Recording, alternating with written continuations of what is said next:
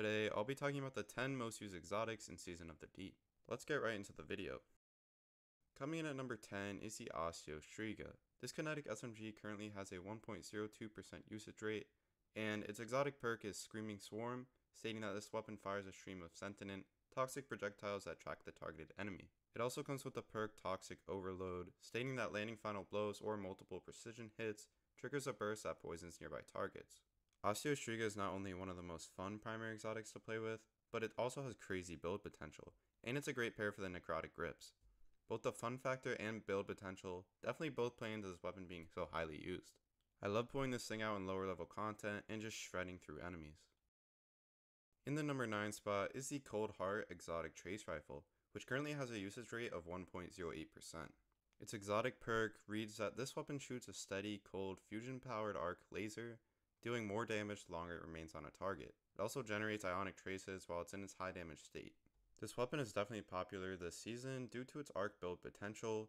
The fact that it can readily generate ionic traces really makes this weapon great for that, and the fact that this season focuses on arc with the artifact and surge really makes this weapon a great choice. Coming in at number 8 is the Arbalest, which has a usage rate of 1.12%. This kinetic linear fusion fires slugs that cause massive damage to shields and has intrinsic anti-barrier. The Arbalest has always been a solid weapon for running in Nightfalls, and is overall just a good weapon for burst damage. So I'm not really surprised it made this list. It's also definitely being used a lot more now that Ghost of the Deep has come out, since it can take down the shields of both bosses in just one shot. In the number 7 spot is the Malfeasance with a 1.33% usage rate. This hand cannon shoots slugs that stick to targets and explode once enough have been stacked. It also comes with intrinsic unstop and does bonus damage against taken. Quick note, I don't actually own this gun so I'm sorry but I don't have gameplay with it. Malfeasance has been such a lackluster weapon for so long, but it's recently risen in popularity. That's because it has received multiple buffs along with a new catalyst this season, which gives it a Vorpal weapon. The combination of these things are what has given this weapon what it needs to finally become somewhat meta. At number 6 is the classic G-Horn with a usage rate of 1.43%.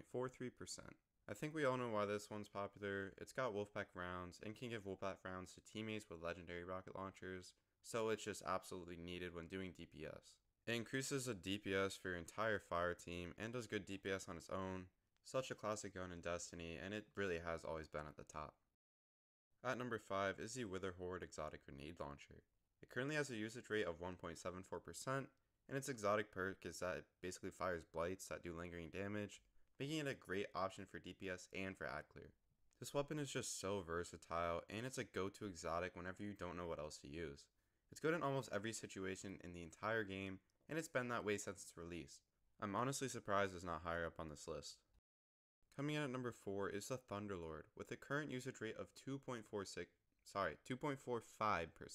Final blows with this weapon create thunder strikes, as well as just damaging targets for a while does the same thing.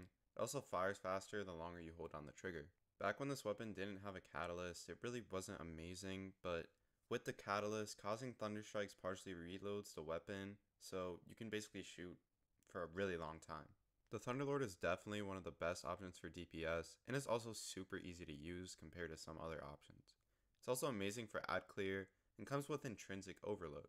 So many positive things going for this weapon, so no surprise it's popular. In third is the Quicksilver Storm, also currently used by 2.45% of players. When sustaining fire with this weapon, it shoots little homing rockets, which deal decent damage. It can also switch to a grenade launcher mode, and the catalyst makes it turn into a strand weapon where the grenade launcher kills create tangles. And it does really good burst damage in the grenade launcher mode.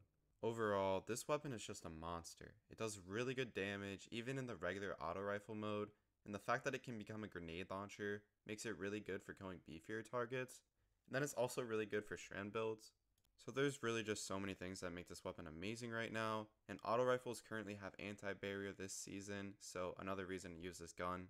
Just like I said with the Witherhoard, when I don't really know what else I want to use, I tend to throw this on because it's good for basically everything. At number 2 is the Wishender Bow with a usage rate of 2.63%. This bow gives you wall hacks and comes with anti-barrier. It can also shoot through multiple targets. Sadly, I don't actually own the Wishender and I'm not really in the mood to do the quest right now, so I apologize for not having gameplay with it. I remember for the longest time, this bow was absolutely cheeks. But now that it has anti-barrier and got some damage buffs, it actually shreds higher health targets. It's kind of crazy to see it being used so much. Finally, the most used exotic this season is actually the new one, the Centrifuse. And basically, sprinting, sliding, and firing with this weapon builds an electric charge that causes explosions on final blows. It also reloads when you're sprinting.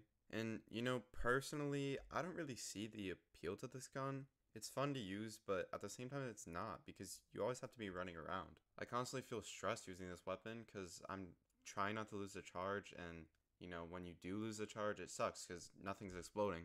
I'm not surprised it's being used so much right now though since it's new and it's definitely not bad. It definitely pairs well with the arc theme this season and can be fun to bring into lower level content. Let me know your guys' opinion on this gun and if you actually like using it. I'll definitely be curious to see if it stays on this list in later seasons. Let me know if you guys would want to see another top 10 most used weapons video but for PvP. I would definitely be down to make one and I'll see you guys in the next video.